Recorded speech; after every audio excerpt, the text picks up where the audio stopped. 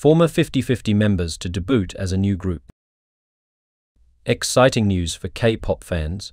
On October 15th, it was confirmed that three former members of 50-50 Aran, Saena, and Sio will be making their debut as a new group called A-Bloom. The announcement was shared on social media through a post by the official A-Bloom account, creating a buzz among fans eager for their return.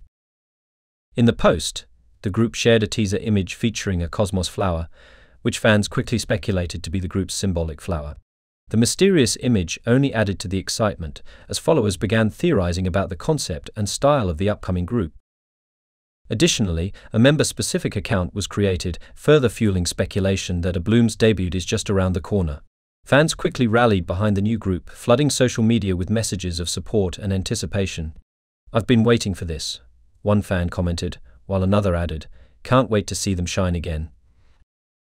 This debut comes after a turbulent period for the former 50-50 members.